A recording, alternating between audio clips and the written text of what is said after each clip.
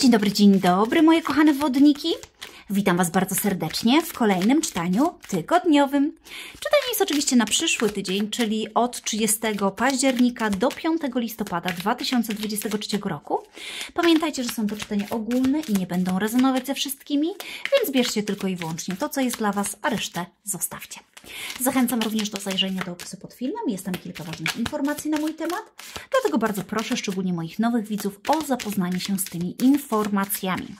No i kochani, łapeczki w górę, komentarze są jak najbardziej mile widziane, subskrypcje również, udostępnienia również i z góry dziękuję Wam za całe Wasze wsparcie. E, moi drogie wodniki, taka moja informacja, to czytanie będzie wyglądać trochę inaczej niż zwykle. Mianowicie zbliża się Wszystkich Świętych, zbliża się e, Dzień Zmarłych, Święto Zmarłych i czuję się wezwana, żeby zrobić Wam przekaz od bliskiej zmarłej osoby. Sprawdzimy sobie, kto to jest i co pragnie Wam przekazać. I z tego tytułu tygodniówka będzie trochę okrojona, mianowicie zrobimy sobie tylko przekaz podstawowy, bez kart opowiadających. E, no i tak postanowiłam, więc Wam mówię, jak to będzie wyglądać. Więc zacznijmy sobie od tygodniówki, a na koniec będzie przekaz właśnie od tej bliskiej osoby, która już jest po drugiej stronie. Dobra, zobaczmy, wodniki. Co się dzieje wewnątrz Was w nadchodzącym tygodniu? A co może przyjść z zewnątrz do Was niespodziewanie? Co w miłości u osób, które są w związkach, w relacjach? A co u moich singli? Rodzina, przyjaciele, najbliższe otoczenie, praca i finanse oraz rada bądź przekaz dodatkowy. Dobra, runa tygodniowa dla Was na nadchodzący tydzień. Zobaczmy. Runa tygodniowa, runa tygodniowa. Uuu, Eichwas. Pięknie. Eichwas jest runą wytrwałości w mm, dążeniu do określonych celów, do spełnienia marzeń. Mówi o rozwoju, mówi o zapuszczaniu korzeni, mówi o stabilizacji, poczuciu stabilizacji, tak? E, jest też tutaj ważna równowaga pomiędzy śmiercią a życiem. Jest też ważna równowaga pomiędzy tym, co umiera, a tym, co się rodzi. Więc, kochani, tutaj ta mądrość płynie też ze zrozumienia tego faktu. Um, więc możecie otrzymać właśnie jakieś ważne informacje, możecie uświadomić sobie ważną prawdę. Ale jedno jest pewne, kochani, um, jest jakaś forma stabilizacji, poczucia bezpieczeństwa, która będzie dla Was ważna w tym nadchodzącym tygodniu. Mhm. No to lecimy. Co się będzie działo wewnątrz Was, moje wodniki? No, dziesiątka mieczy, kochani, uświadomienie sobie, e, to znaczy uświadomienie, mm, zakończenie czegoś, zakończenie jakiegoś trudnego rozdziału w Waszym życiu i jednocześnie nadejście nowego, bo dla mnie dziesiątka mieczy jest zakończeniem. Zakończeniem trudnego etapu, e, jest zakończeniem takiej ciężkości e, i szansą na właśnie rozpoczęcie nowej przygody. Jeżeli w ostatnim czasie mieliście dużo stresów, dużo zmartwień, mieliście takie poczucie, że nic nie idzie tak jak powinno, czuliście się przygwożdżeni do ziemi, czuliście się zdradzeni, może ktoś coś robił za waszymi plecami, ktoś wam wbił nóż w plecy przysłowiowy, przyjaciel, partner, ktokolwiek. Jeżeli cierpieliście z powodu braku kogoś, jeżeli cierpieliście z powodu um, jakichś trudności, które miały miejsce w waszym życiu, mam wrażenie, że z tą dziesiątką mieczy właśnie co najgorsze jest za wami, co najgorsze jest za wami i w tym tygodniu będzie szansa na rozpoczęcie nowego rozdziału dla was, na zakończenie tego, co trudne i właśnie mówię, zasianie nowych ziaren i rozpoczęcie nowego rozdziału, które przyniesie Wam więcej stabilizacji, albo też może chodzić o odzyskanie tej stabilizacji, szczególnie na poziomie umysłowym, na, szczególnie na poziomie intelektu tutaj, mm, spokój myśli, klarowność w jakiejś sytuacji, prawda, to będzie tutaj ważne dla Was w tym nadchodzącym tygodniu. Co z zewnątrz do Was idzie?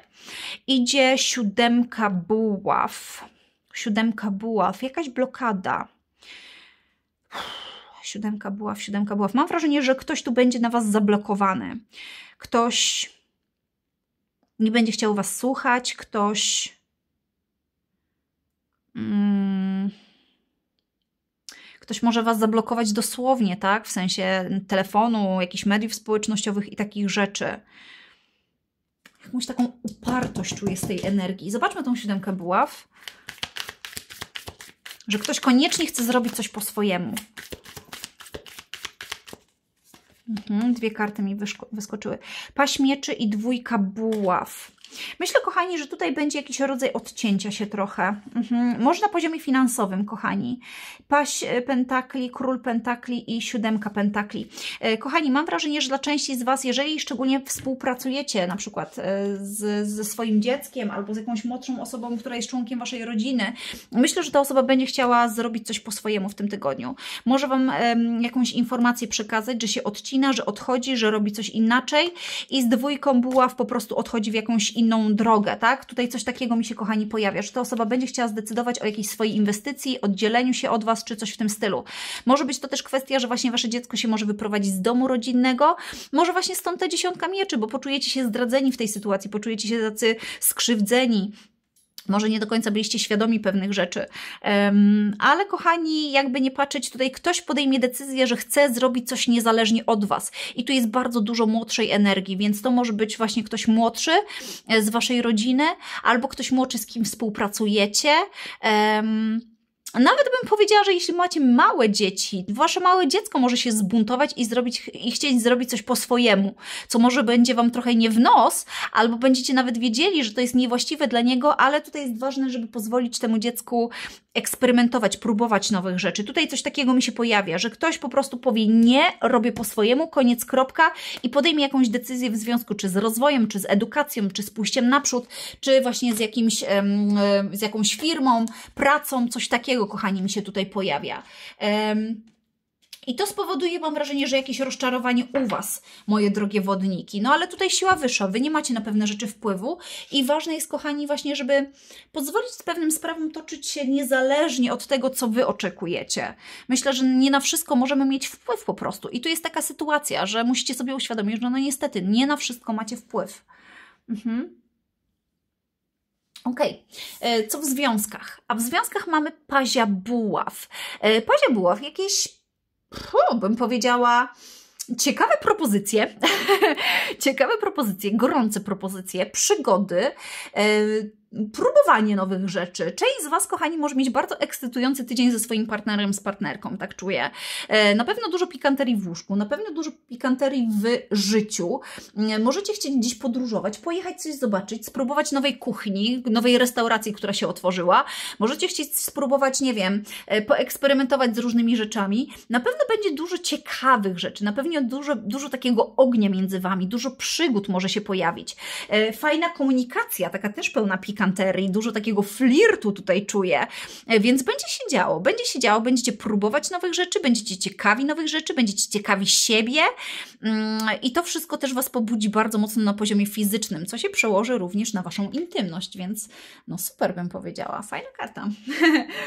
ok, co dla singli? Single, singlaczki, Wy macie trójkę buław, czyli szansę na pójście do przodu. Część z Was, kochani, jeżeli dalej jest energetycznie związana z jakimś eksem, eksową, z jakąś osobą, z którą byliście w związku, będzie w stanie ostatecznie zostawić to za sobą i pójść naprzód i zostawić to za sobą. Bardzo, bardzo mocno to czuję, e, że to jest ważny czas dla Was, żeby właśnie zakończyć jakiś trudny rozdział i w końcu zostawić tą przeszłość za sobą, jakieś krzywdy, jakieś smutki. Pozwolić temu po prostu przypłynąć przez Was i zrobicie krok naprzód, już nie wracając więcej do tej przeszłości, do tych przykrych sytuacji. E, z trójką była w kochani, też jest tutaj szansa na poznanie kogoś, kto niekoniecznie mieszka w Waszym miejscu zamieszkania. Możecie poznać kogoś podczas podróży, możecie poznać kogoś do związku takiego długodystansowego, tak bym powiedziała.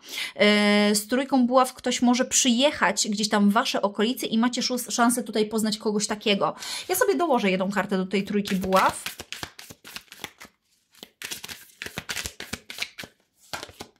Mhm, śmierć, kochani. Czyli mówię, dla części z Was przede wszystkim oczyszczenie, oczyszczenie, zostawienie czegoś za sobą i pójście naprzód, a dla części z Was, kochani, szansa na poznanie kogoś, kto być może nie mieszka w Waszym miejscu zamieszkania. Będzie to związek na odległość, ale to może być relacja, która e, totalnie przetransformuje Wasze życie. Mhm. Ok, rodzina, bliscy, yy, przyjaciele. Dziewiątka mieczy, czyli tutaj, kochani, jakieś stresy, zmartwienia, stresy, zmartwienia, nieprzespane noce, yy, ale też demonizowanie sytuacji. Czymś się będziecie tutaj zamartwiać, kochani, czymś albo kimś będziecie się tutaj zamartwiać. Yy, zobaczmy tą dziewiątkę mieczy. Może właśnie tą osobą, szczególnie jeśli to Wasze dziecko, wnuk, ktoś taki, yy, tak czuje. Mhm wisielec. Wiecie co, będziecie się zamartwiać, że nie macie na coś wpływu, że faktycznie tutaj tworzy się jakiś nowy, nowe coś, Tak czuję, kochani. E, nie wiem, bardzo mocno tu jest taki przekaz dla osób, które są, które mają dorosłe dzieci. Tak czuję i nie potrafię tego uczucia wywalić, więc to mówię. Mam wrażenie, kochani, że będziecie się czymś bardzo mocno stresować, że wasze dziecko właśnie podejmuje jakąś decyzję, odchodzi z domu, e, realizuje jakieś swoje marzenia, inwestuje w siebie, inwestuje w jakieś inne rzeczy niż wy byście chcieli, żeby inwestowało, coś takiego i to będzie powodować stres, ponieważ nie macie na to wpływu, ponieważ nie możecie nic zrobić, ponieważ jedyne co będziecie to kwestia takiego zawieszenia. I to może powodować, kochani, takie poczucie bezradności, co może prowadzić właśnie do tej dziesiątki mieczy. Ale pamiętajcie właśnie, że to, że nie macie na coś wpływu, nie znaczy, że to się dobrze, nie, że to się nie skończy, że to się skończy źle. Bo mam wrażenie, że tutaj ktoś zaczyna faktycznie jakiś nowy początek, który będzie mega szczęśliwy, mega sprzyjający. Więc pozwólcie tej osobie po prostu podejmować własne decyzje. Ok, mm, praca, praca, finanse. Co tu mamy? Ósemkę buław. No fajnie, kochani, przepływ wiadomości, różne informacje, mm, maile, spotkania, telefony. Dużo będzie się działo. Część z Was może podróżować gdzieś, będzie to raczej krótka podróż, może spotkać się z jakimś klientem, ale ósemka też Buław mówi, że pewne sprawy pójdą do przodu, może coś się wyjaśni, może otrzymacie jakieś wiadomości, na które długo czekaliście. Dużo spraw ruszy do przodu. Wy też będzie ukier będziecie ukierunkowani na jakiś konkretny cel, e, więc będzie cel, będzie działanie, będzie cel, będzie działanie. I kochani, no z tą ósemką Buław zdecydowanie też realizacja jakichś określonych celów, więc co sobie tam postanowicie, to, że, że tak powiem, zrealizujecie. Dołożę oczywiście sobie jedną kartę żeby nie było. No i trójka pentakli. Pamiętajcie, kochani, o współpracy z innymi. E, nie jesteście samotną wyspą, macie kogoś, z kim być może jakaś współpraca będzie się fajnie układać, albo może tutaj się przydarzyć jakaś nowa propozycja współpracy i budowania jakichś nowych solidnych fundamentów. Dla osób, które szukają pracy, bardzo korzystne karty mówiące, że przyjdą jakieś wiadomości, ktoś Was zaprosi do współpracy i ta współpraca może być dla Was bardzo, bardzo um, udana. No i rada. Zobaczmy na koniec radę. Dwójka dyń, czyli dwójka pentakli. Kochani, bądźcie elastyczni e, na to, co idzie Waszą stronę.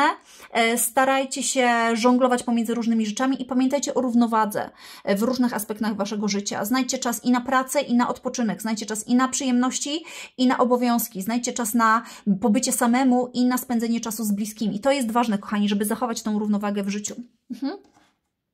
Na koniec pokażę Wam jeszcze, Boże, pokażę, wylosuję Wam jedną kartę z księżycologii i na tym zakończymy nasz przekaz tygodniowy i przejdziemy do mm, informacji, przekazu od zmarłej bliskiej osoby. Znajdź równowagę między duchowością a praktycznością.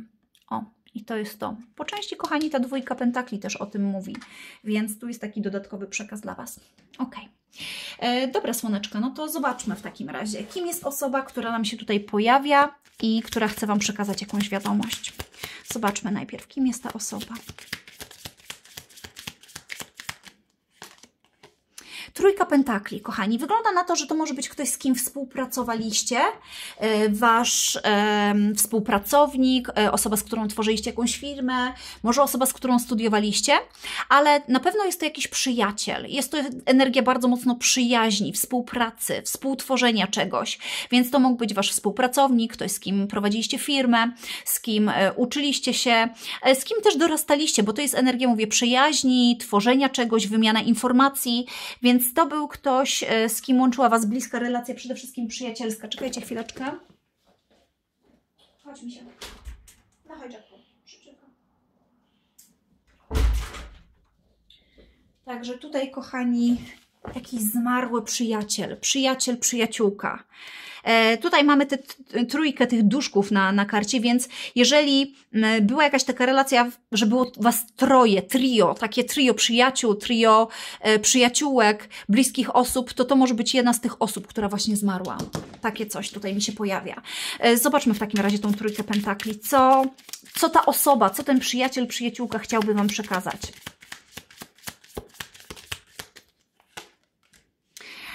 Siódemka pentakli. Królowa kielichów.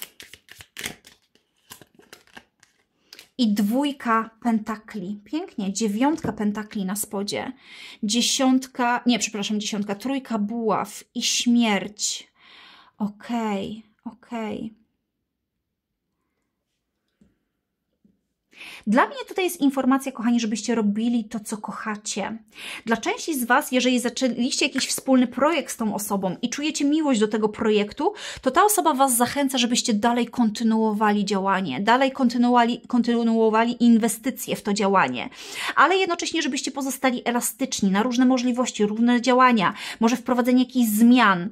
Czuję, kochani, że jeżeli faktycznie jest to jakiś wspólny projekt, który zaczęliście z tą osobą, kontynuacja tego projektu będzie dla Was bardzo korzystna finansowo, może przynieść dużo, dużo dobrego, ruszenia do przodu, może przynieść Wam totalną transformację, zmianę w życiu, e, która, no właśnie, cesarze, cesarz przyniesie Wam dobre stanowisko, wysokie stanowisko, ale też dobre pieniądze.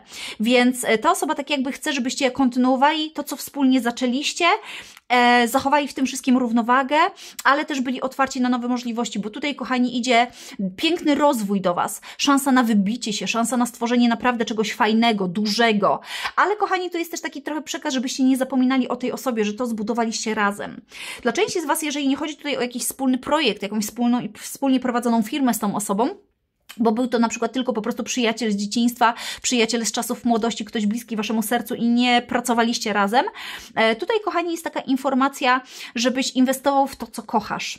Jeżeli jest coś, co kochasz, to czas zacząć działać. Pozostań elastyczny, otwarty na to, ale też podejmij decyzję, żeby być może założyć własną firmę, żeby być może ruszyć do przodu, odejść z pracy, która cię nie satysfakcjonuje, która nie daje ci przyjemności. Okej, okay, to może być trudne, to może rozwalić twoje życie, to może zmienić totalnie totalnie Twoje życie, ale może wnieść w to bardzo dużo stabilizacji, poczucia bezpieczeństwa i spełnienia. Tak, to jest coś nowego, co przyniesie Ci dużo komfortu, dużo pieniędzy. E, myślę, że jeżeli jest to kwestia jakichś mm, usług czy coś, ludzie będą w to inwestować. Tu jest taka zachęta. Nie bój się być sobą, nie bój się czerpać satysfakcji z tego, co robisz. Więc jeżeli męczysz się w jakiejś pracy, męczysz się na jakimś stanowisku, które nie należy do Ciebie, czas zacząć spełniać swoje marzenia co do inwestycji, co do pracy, e, którą kochasz. I ta osoba Cię do tego bardzo, bardzo mocno zachęca. Pięknie. Mhm. No i to by było na tyle, moje drogie wodniki. Dziękuję Wam z całego serca za wysłuchanie. Mm, życzę wszystkiego dobrego, dbajcie o siebie, no i widzimy się za niedługo. Buziaki, pa pa.